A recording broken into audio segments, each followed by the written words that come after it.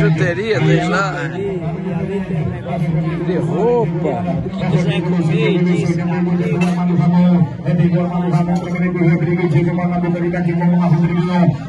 diz.